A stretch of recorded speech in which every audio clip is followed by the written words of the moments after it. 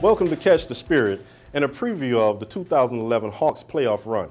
I'm Beauxshon Williams and I'm joined by Aja Simons. First off, Aja, what are your thoughts on the Hawks' first round matchup against the Orlando Magic? Well, the Hawks are coming off of a six game losing streak, and I think most folks have written them off at this point. Yes, they shouldn't write the Hawks off just yet.